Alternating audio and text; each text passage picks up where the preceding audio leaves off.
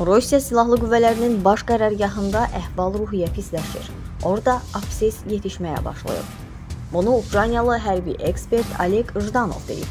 Bunun göstəricisi nəinki vəzifədən uzaqlaşdırılan, barələrində cinayət işi başlanan və istintaq aparılan komandirlərin sayıdır.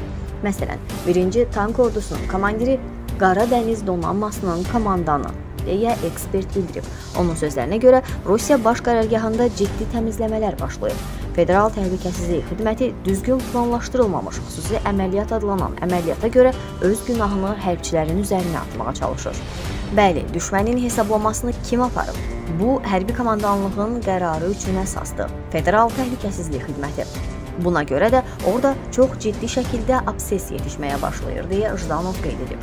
Bundan əvvəl Ukrayna prezidenti aparatının rəhbərinin köməkçisi Aleksey Arestoviç Rusiya prezidenti Vladimir Putinin rus generallarını döydüyünü iddia etmişdi.